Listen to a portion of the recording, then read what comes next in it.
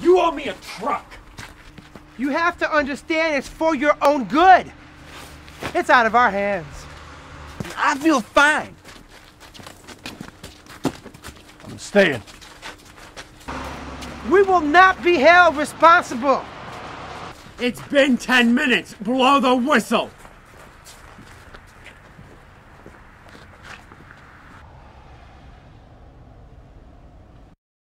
If anything happens to my family, convince me. I want to hear you say it. You know what? Yep, keep it going. Hey, Claudia. Paul. Are you guys home?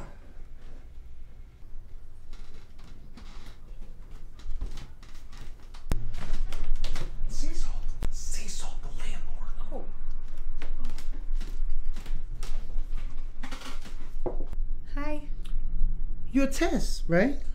Yep, you're sea salt, right? That's right. It's been a long time.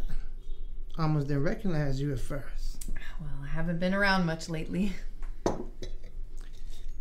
Hey, don't you do that web series for the Daily News, uh, behind the scenes? On the scene. Yeah. My wife loved that show. Really? She wants to be on it. She's a real fashionista. Uh, I thought you two broke up. We did. So what are you doing here at 9.30 in the morning? Eating cereal? You didn't move in here, did you? Oh no, of course not. No, I just invited her over for um raisin bran. Praise him, Bram. Well, you know uh, how to treat a lady, Claudia. So, was there any particular reason for this morning's visit besides critiquing my taste in breakfast cuisine? Yes. Uh, do you have any idea what day of the month this is? June fourteenth, which is Flag Day, fairly obscure holiday. Did I win something? Very funny. It's the middle of the month, mi amigo. Your rent was due two weeks ago, and it's the sixth month in a row that you've been late. Sea salt. Look, I've been meaning to talk to you about that. Claudio, just be straight with me. Do you have the money or not? Today? No. All right. This is nothing personal. I happen to like you. I mean, I think you're a nice guy. But I can't allow you to live here if you cannot pay your rent on time. I don't care how you get the money. Borrow it from your parents, rob a fucking bank for all I care. But pay your rent on time. Got me? I will have it to you by the end of the week. All right. You all have a fine and dandy day.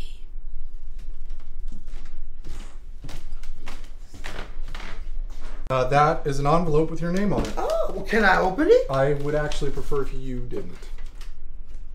It's a check to me from Paul.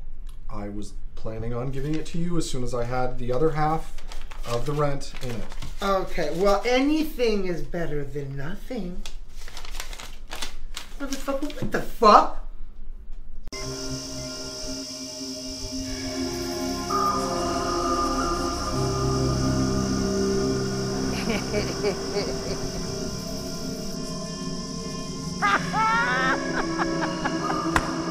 You better get the fuck out of my goddamn motherfucking face,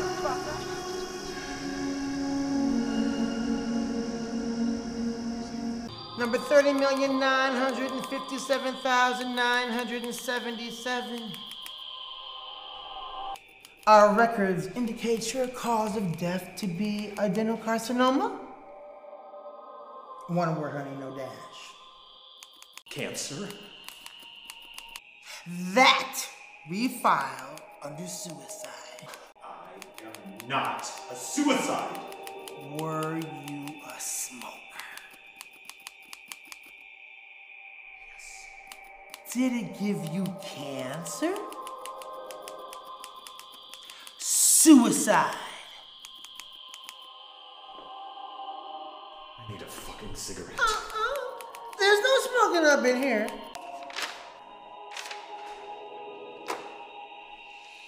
Fucking smokers. Next. Uh, where's the bathroom? Damn it. You're in the wrong fucking line. Um, I'm sorry. But you can't. Next. You must be here for a reason. Well, what am I doing? Form 2316A. What? Fill it out. It is all there in black and white. Where am I? The department. The Department of what? The Department of Lost Souls. The DLS, if you prefer. of Lost Souls. That's what I said. But I'm not. Did? Yeah. Did I just give you Form 2316A? Yes. And you're dead. You are here to be assessed Assessed. by me. Assessed for what? Everyone makes mistakes. No matter what they are, there must be atonement. There must be a balance. I see. I'll take that back now. How'd I do? Did you know that there was a little girl in that car, Amber? What? What car? Of course, you don't remember. No. Hmm. Of course you don't. And you didn't think you'd get caught either. What? Oh no, it's not a problem. You had it all under control. Oh my god. And you've done it before anyway. Oh my god. Oh, what's the worst that could happen? No. You have been assessed and found to be disgraceful.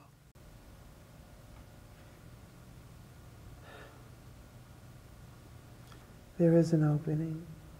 A baby boy is about to be born to a widowed mother.